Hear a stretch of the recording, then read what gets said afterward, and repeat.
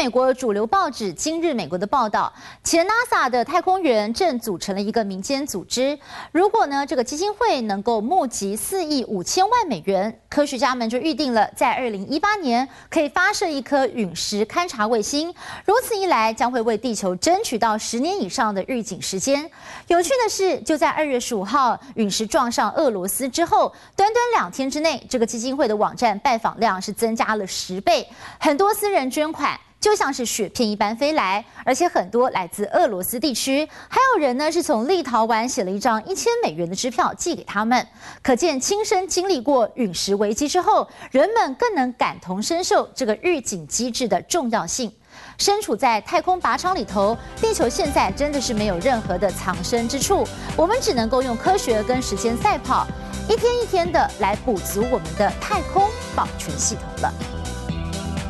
我是林一如，感谢您今天的收看。发烧话题追根究底，请继续锁定热血追踪。